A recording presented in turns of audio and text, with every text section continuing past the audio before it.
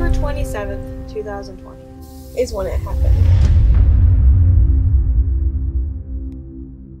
And I was like, we gotta get out, bro. Because, like, we thought it was so funny for about three hours. We thought she was joking for the longest time. And then we figured out it was real.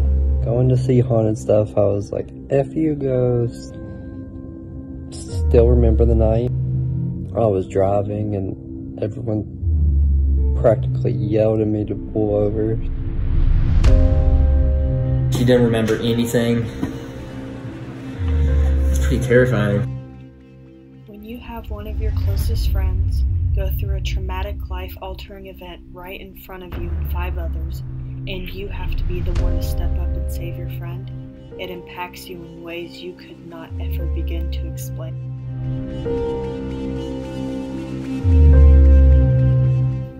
Was young, naive, and into worldly stuff, I was not religious at all.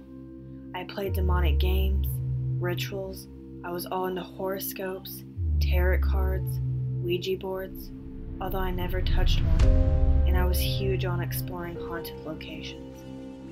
My whole YouTube channel is basically paranormal stuff.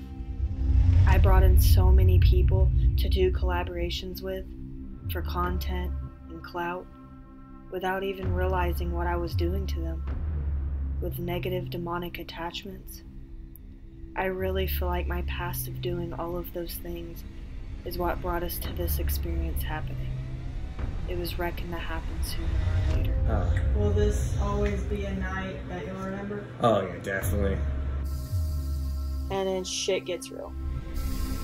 And this is the part where it changed all of our lives.